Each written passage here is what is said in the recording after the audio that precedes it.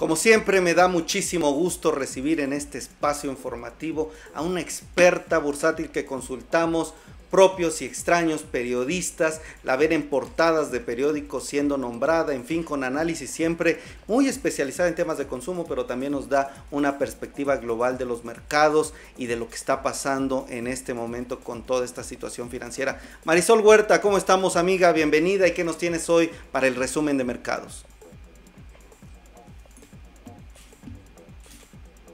Bueno, bueno. Creo que está la conexión débil, amiga. Te perdimos un poquito. Ahí está, listo. Ahora sí.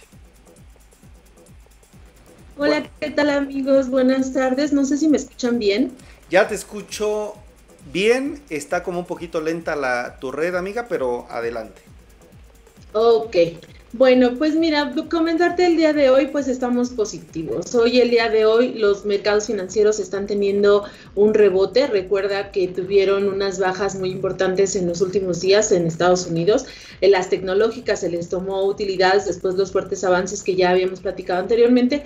Y el día de hoy, pues básicamente lo que están observando es justo este rebote ante precios atractivos. Empresas que cayeron fuertemente, como Tesla, que había caído 21%, el día de hoy se recupera un, un 7%. Apple también se encuentra a la alza, este, Amazon, en fin, todas estas empresas el día de hoy están observando mejor desempeño y básicamente es la caída que habían presentado, el entorno económico sigue siendo el mismo, no hay nada que, esté marcando una diferencia.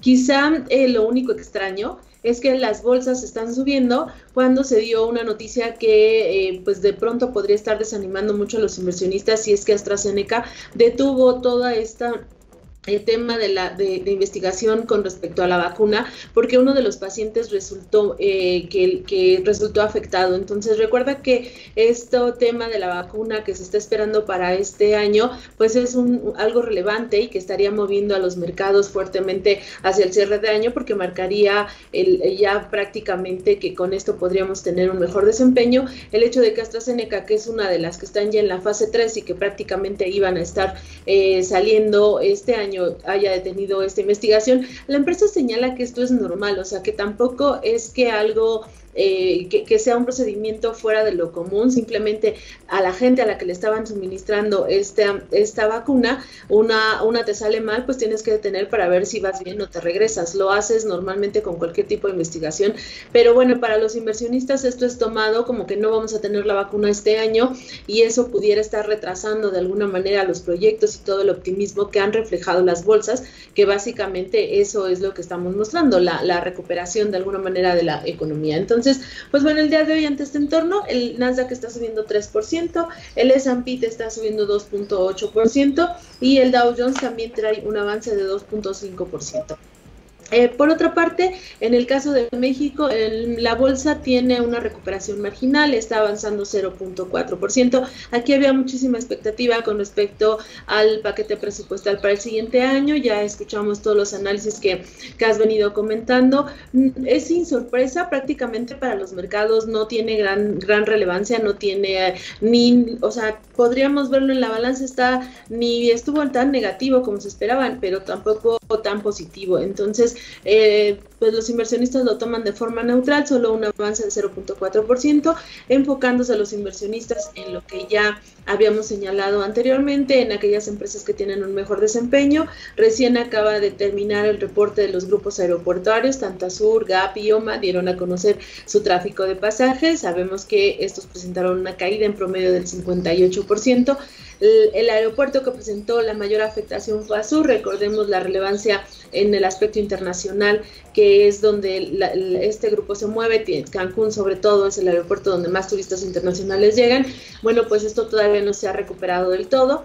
Eh, y por esas situaciones que este grupo aeroportuario es el que presenta la afectación. En cuanto al tráfico nacional, el tráfico nacional sí se está moviendo de forma positiva, es decir, ya estamos aventándonos a, viajar, o sea, al interior y en los países en los que podemos entrar pues bueno, básicamente sí hay movilidad. De hecho, Volaris, que es una de las empresas que, que, de las líneas aéreas que ve toda esta situación, señala que en septiembre incluso su demanda creció lo suficiente Y, bueno, pues entonces los inversionistas se van a estar abocando justamente a estas perspectivas de compañías hacia el cierre de año para ver a dónde estarías apostándole, cuáles podrían estarte eh, dando el mejor desempeño.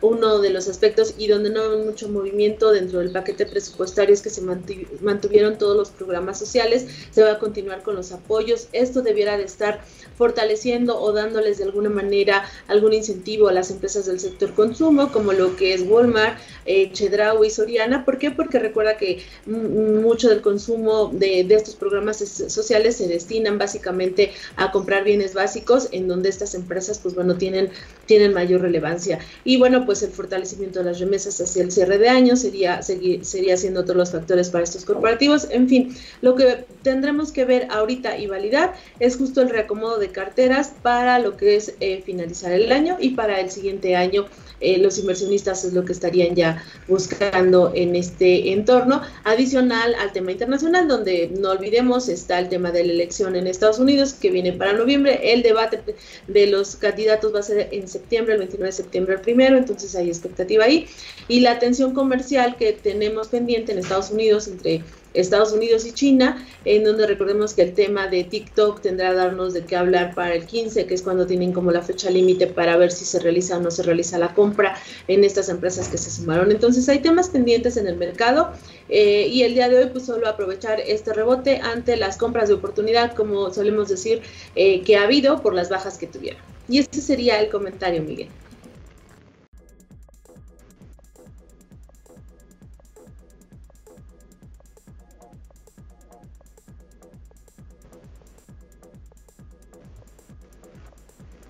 El sector consumo, amiga, muchas gracias por el reporte, que estaba pues preocupado por el tema de impuestos, que estaba preocupado por algún movimiento en su contra.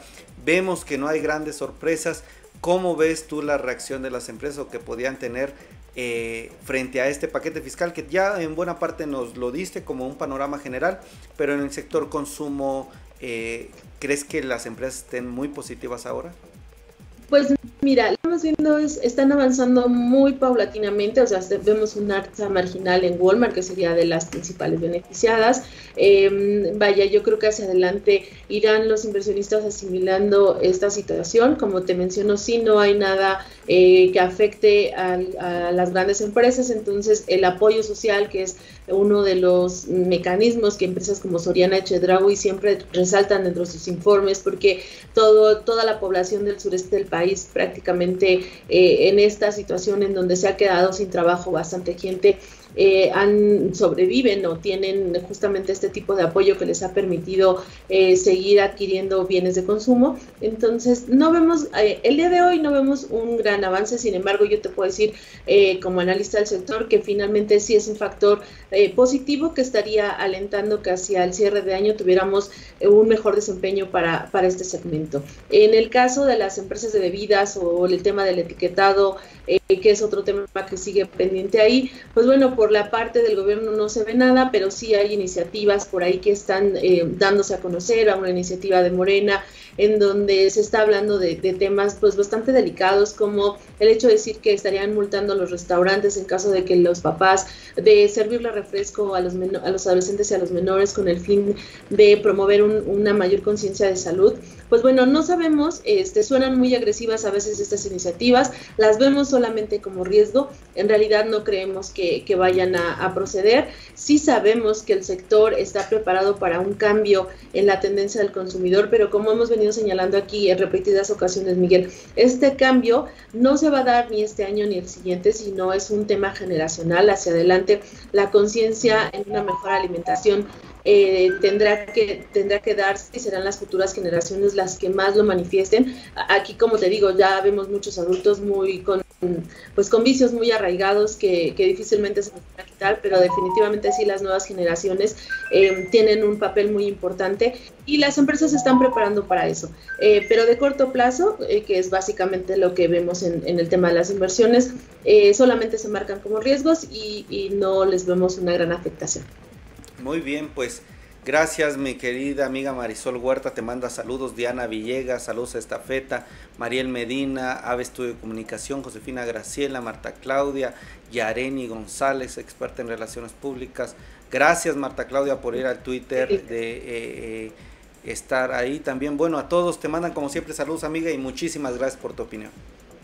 No, hombre, muchas gracias a todos y saludos nuevamente, abrazos, que tengan bonito día.